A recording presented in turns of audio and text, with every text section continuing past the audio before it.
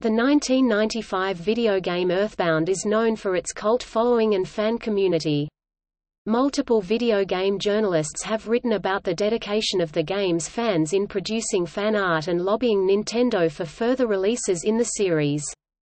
The company has been largely unresponsive to their efforts. Prominent fan sites include Starmen.net and Earthbound Central. The former was started in 1999 and became the definitive community website. Their members organized petitions and campaigns to bring English localized games from the Mother series to North America. One such effort included a full-color, 270-page Earthbound anthology as a demonstration of consumer demand for further releases. After nearly a decade, Earthbound was re-released for the Wii U Virtual Console in 2013, whereupon it became a bestseller. The fandom also spun out other enterprises. When Nintendo did not release a localized version of Mother 3, fans organized their own fan translation. The video game merchandising business Fangamer grew out of the Starmen.net community, and sells video game-related items online. A full-length documentary on Starmen.net and the fan community, Earthbound, USA, is in production. While series creator, Shigesato Itoi has stated that he is finished with the series, a fan-created sequel, Mother 4, began development. However, following several high-profile DMCA takedowns of other fan games based on Nintendo-owned properties, the fan-created game is undergoing rebranding so it will no longer be part of the Mother series.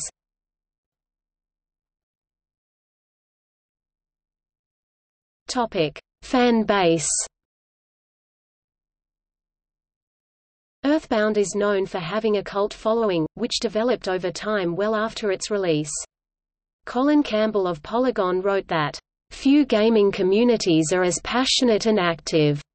As Earthbound's, and 1UP.com's Bob Mackey wrote that no game was as poised to have a cult following. Wired described the amount of Earthbound fan art, videos, and tributes on fan sites like Earthbound Central or Starmen.net as mountainous. IGN's Lucas M. Thomas wrote in 2006 that Earthbound's persistent, ambitious, and religiously dedicated collective of hardcore fans would be among the first groups to influence Nintendo's decision-making through their purchasing power on Virtual Console. The Verge cited the two-year fan translation of Mother 3 as proof of the fanbase's dedication, and Nintendo president Satoru Iwata credited the community response on their online Miiverse social platform as leading to Earthbound's eventual re-release on their Virtual Console platform. Earthbound was hard to find before the re-release. In 2013, prices for the game's cartridge alone were more than twice its retail cost at its 1995 release.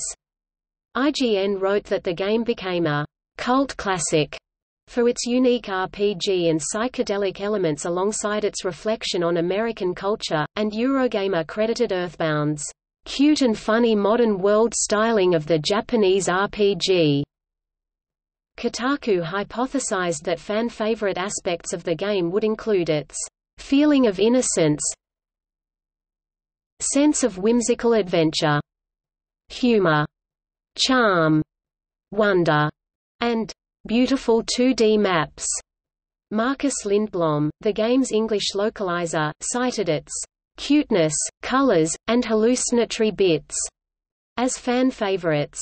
Reed Young of Starmen.net and Fangamer credits Earthbound's popularity to its labor of love nature, with a double coat of thoughtfulness and care across all aspects of the game by a development team that appeared to love their work. Digital Trends' Anthony John Agnello wrote that, no video game fans have suffered as much as Earthbound fans, and cited Nintendo's reluctance to release Mother series games in North America.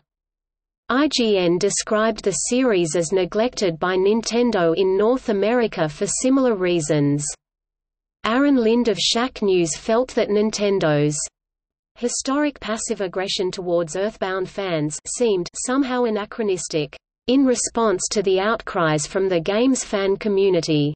He added that while the company is known for providing the most personal experiences in gaming's history, Nintendo lacks the bedside manner required of contemporary game companies, and that he could not think of a more deserving fan base than Earthbound's.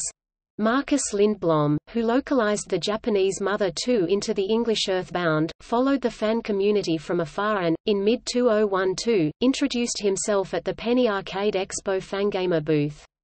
When the game's Wii U re-release was announced, the press became interested in Lindblom's experience. Lindblom had planned a book about the game's development, release, and fandom as a Kickstarter project before a reply from Nintendo discouraged him from pursuing the idea. He plans to continue to communicate directly with the community about the game's history.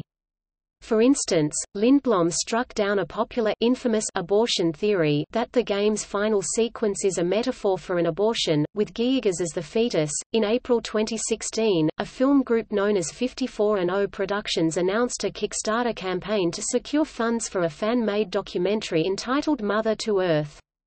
The documentary will focus on the road to Mother's localization in North America, and will include interviews with key people behind the process.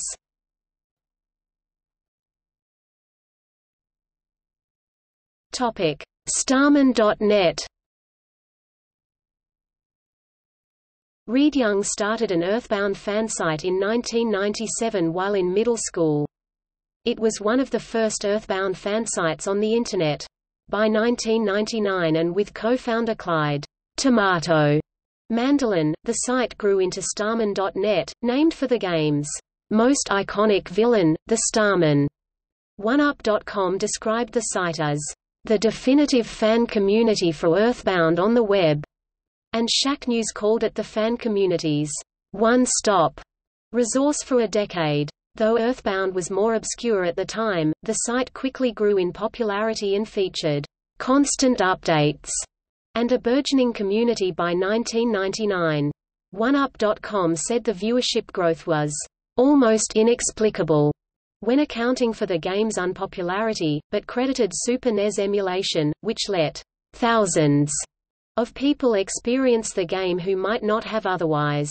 Young credited the site's growth to the fan content generated by the community.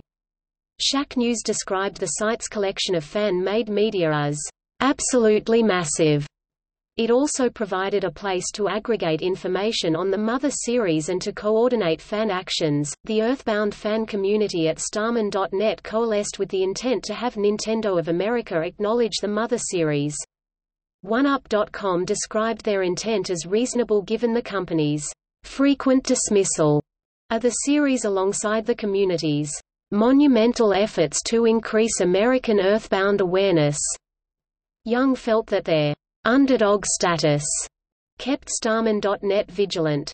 He also said that he views the community as a big group of friends having fun together, and sometimes thinks that it is just happenstance that Earthbound was what brought them together, as opposed to another franchise like Pokémon. As the site started in 1999, the community started a petition to have Nintendo release Mother for the Game Boy Color, and collected 1850 physical signatures to this end and bound it in a book for Nintendo. The final word from Nintendo was that the package was received. Other petitions include the 2000 10,000-person petition for a North American Mother 3 release on the Nintendo 64, the 2003 31,000-person petition for a North American Mother 1 plus 2 Game Boy Advance release, and letter and phone campaigns. A source internal to Nintendo later told them that the 2003 campaign was almost successful, but fell out of consideration as the phone campaign ended after a week. The community resolved to never let up again.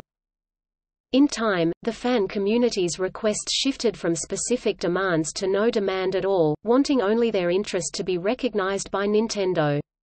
The Starmen.net community launched several campaigns to bring attention to the series. In their 2007, The EB Siege project to have Mother 3 receive an official North American localization, community members sent letters and made phone calls to Nintendo. They ultimately created a full-color, 270-page art book, the Earthbound Anthology, to send to Nintendo and press outlets as demonstration of their interest. They also hoped the volume would mobilize established industry professionals to take up their cause in advance of the 2007 Electronic Entertainment Expo. Shacknews wrote that the folk history was more of a proposal than a collection of fan art. The greatest gaming love letter ever created. Wired's Chris Kohler used the anthology's occasion to explain how Nintendo's upper management has heard the fan community. The anthology additionally received mention in Nintendo Power. Upon little response from Nintendo, they decided to localize the game themselves. Starmen.net co-founder Tomato led the project, and the complete fan translation was finished in October 2008.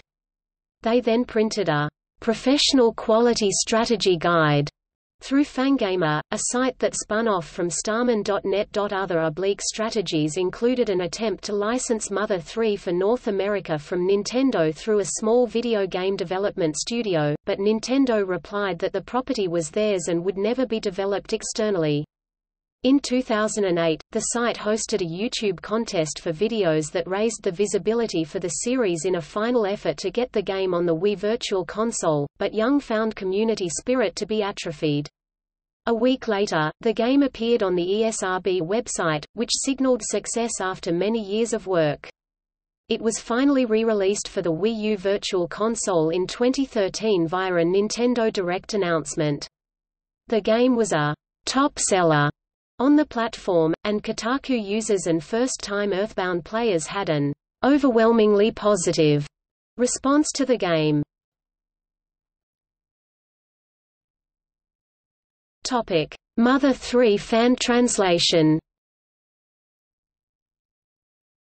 After a decade of development hell, the Japanese video game Mother 3 was released in April 2006. When fan interest in an English localization went unanswered by Nintendo, Starmen.net announced their own fan translation in November 2006. The project was led by the fansite's Clyde Tomato Mandelin, a professional game translator whose previous work includes games such as Kingdom Hearts 2 and anime such as Dragon Ball. The dozen fans who worked on the project had been vetted by Mandelin and had prior localization experience. Thousands of hours were put into the project between hacking the game data and translating the 1,000 pages of scripted dialogue. They built their own tools for the work. The final version was released in October 2008 and issued as a patch to be used with an emulator, a process of murky legality. The patch was downloaded over 100,000 times in its first week. A fan-made, full-color, 200-page, professional quality player's guide was released alongside the fan translation. 1UP.com wrote that, "...no other game in the history of time garnered such a rabid demand for translation." And The Verge cited the effort as proof of the fan base's dedication.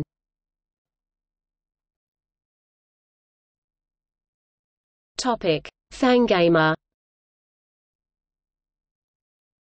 Fangamer is a video game merchandising business spun out from Starmen.net. The online store sells items including hats, pins, and T-shirts branded with video game-related designs from games such as Earthbound, Chrono Trigger, and Metal Gear Solid.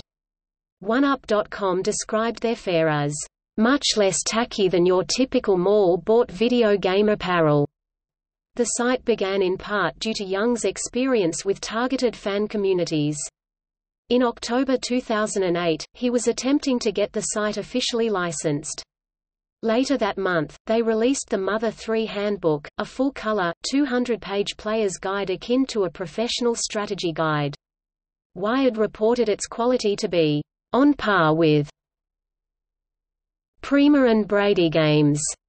In 2014, Fangamer crowdfunded a box set of media celebrating Earthbound, with $230,000 raised—over twice its goal. The box set includes a travel zine for the game's fictional settings Earthbound, an album of music, and the documentary Earthbound, USA. Since exceeding the campaign's goal, the business hosted Camp Fangamer, an event in Tucson, Arizona, for 450 fans.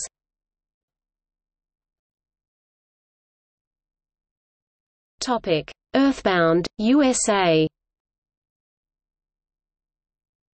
In April 2014, brothers Jeff and Robbie Benson announced the production of their documentary, about how Earthbound fans have fought to popularize the Mother series in North America since the 1990s.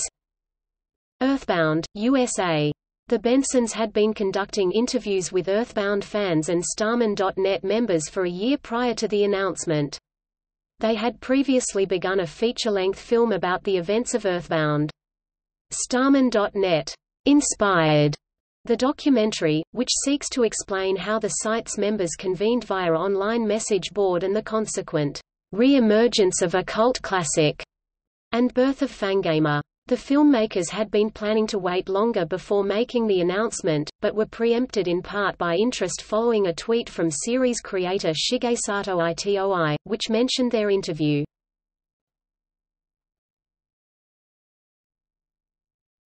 Topic: Fangames.